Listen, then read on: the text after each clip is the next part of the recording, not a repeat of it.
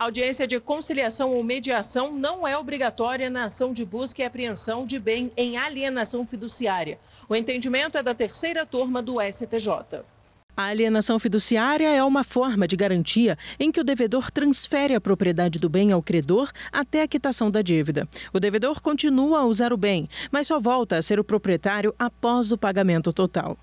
A norma que regulamenta a garantia é o Decreto-Lei 911 de 1969, que permite que o credor, em caso de inadimplência, recupere bens alienados fiduciariamente por meio de busca e apreensão rápida. O devedor tem cinco dias após a apreensão para quitar a dívida e reaver o bem. Se o prazo expirar sem pagamento, a propriedade do bem é consolidada em favor do credor. Em um caso que chegou ao Superior Tribunal de Justiça, uma administradora de consórcio ajuizou ação de busca e apreensão devido à falta de pagamento das parcelas de um financiamento garantido por alienação fiduciária. Em contestação, o devedor reconheceu o débito e solicitou ao juiz que fosse reconhecida a renegociação da dívida com a concessão do depósito.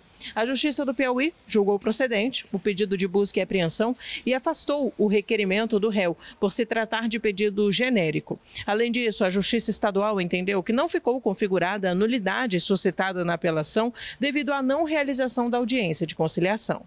No STJ, o devedor pediu a reforma do acórdão e o retorno dos autos ao primeiro grau para ser dada a oportunidade de realização da audiência de conciliação. Ele argumentou o descumprimento da regra do artigo 334 do CPC e isso tornaria nula a sentença. A relatora do recurso especial, ministra Nancy Andrighi, mencionou o precedente do STJ no sentido de que a audiência prévia de conciliação ou mediação prevista no CPC é obrigatória no procedimento comum, sendo dispensada apenas se o desempenho desinteresse for manifestado de forma expressa por ambas as partes.